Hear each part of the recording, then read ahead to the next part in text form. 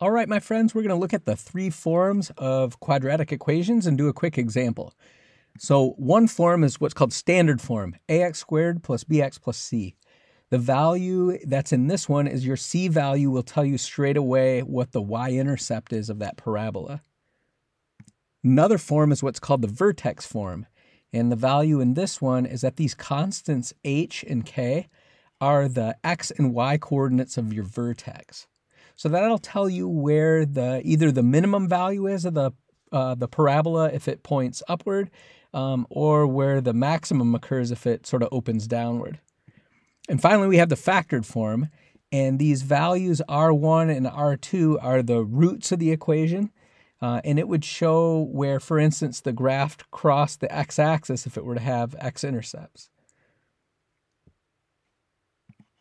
So the roots are r1 and r2. So let's do a quick example of this.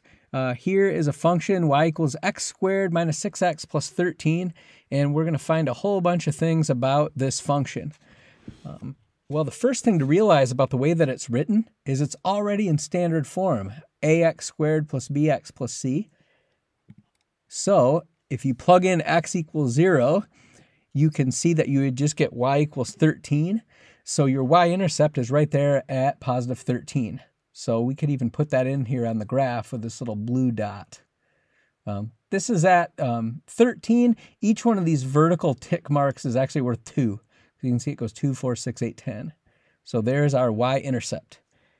Um, let's go ahead and see if we can get this thing into vertex form. Um, that will typically involve completing the square. So let's do it. Um, well, what you do to complete the square, right? You look at this negative 6, the coefficient of the x, uh, cut it in half to get negative 3 and then square it, and that would give you positive 9. So what we're going to do is we're going to add and subtract 9. And so these first three terms will form our perfect square of uh, x minus 3 um, quantity squared. And then left over, we would have negative 9 plus 13, which would give you positive 4. So here we are already in the vertex form. Um, so the vertex, well, is going to be hk, so x minus h quantity squared, well, h is 3, and then plus k, the k value is going to be 4. So now we know where the vertex is. So we can actually put that on our graph too. That's going to be over 3 units um, and up 4. And remember, going up, each tick mark is worth 2. So that's why it's this purple dot right here. That's where the vertex is. So our vertex here is that hk equals over 3 up 4. In our vertex form, we already have here x minus 3 squared plus 4, so that's all good in vertex form.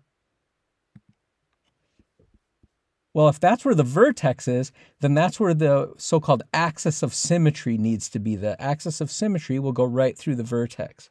Um, so we know that the axis of symmetry is going to be right here at x equals 3.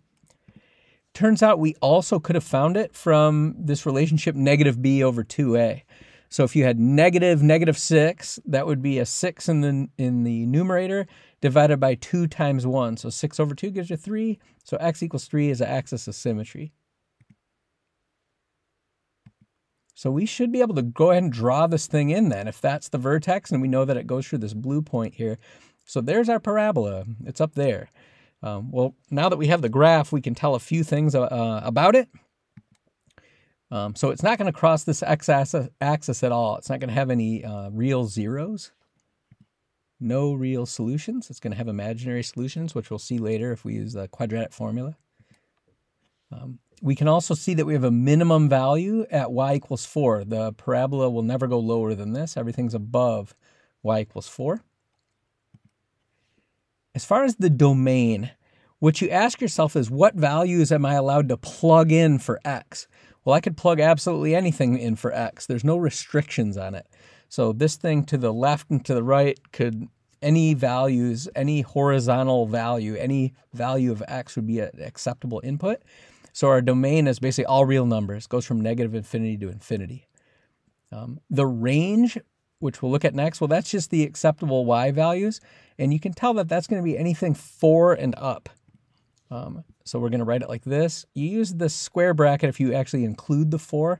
So it's uh, 4 and anything above 4. So it goes all the way up to up to infinity. So the final thing we have left is actually just to find the, the roots uh, of this thing or um, the zeros, right? It's not going to have real solutions, but it'll have um, complex roots. And so we can find those with the quadratic formula. So negative b would be 6 plus or minus root b squared minus 4ac over 2a. And so if you plug those quantities in, this is what you'll get from the quadratic formula.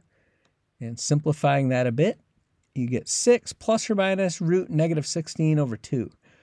Well, root negative 16 is just going to be 4i.